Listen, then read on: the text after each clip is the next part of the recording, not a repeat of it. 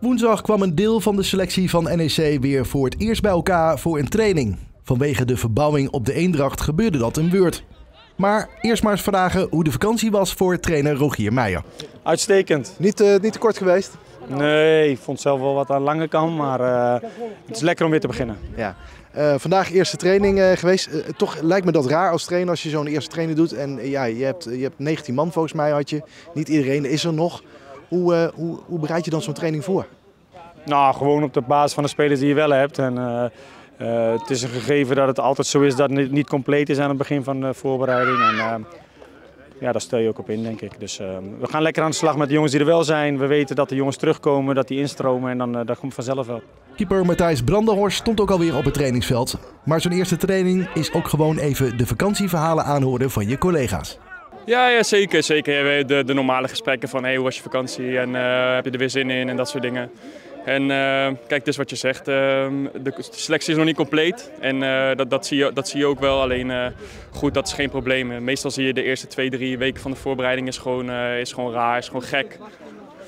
is gewoon gek. En dan, ehm, ja, naarmate de voorbereiding zal vorderen, dan, dan, zullen de, dan zal dus de selectie steeds meer compleet worden. En dan zul je meer kunnen werken naar een, naar een basiself. Waar kijk je nou naar zo'n zo'n eerste training naar als je hier zo op het veld loopt?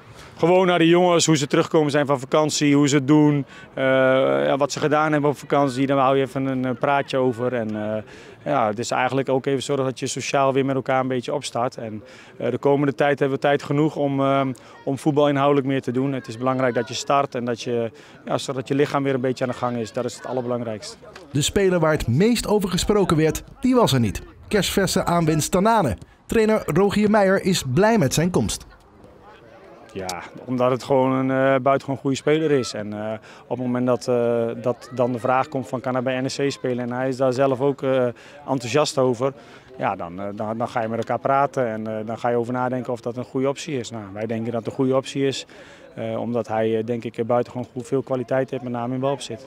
Ja, het, het schijnt een, een, wat lastigere jongen te zijn. hoe denk je dat te kunnen gaan, gaan handelen?